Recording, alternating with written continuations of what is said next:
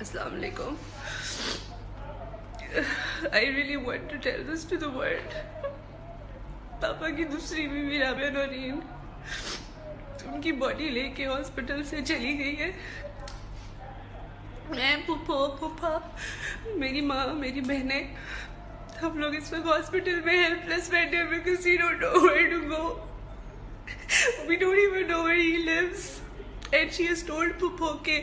हम ये औरतें, यानी मेरे बाप की बेटियाँ आबिद अली की बेटियाँ उसकी एक्चुअल फैमिली राबिया मैडम के घर नहीं जा सकते। She is not told us about the जनाजा कि कब होगा, कहाँ होगा and is just taking them away all over again and I want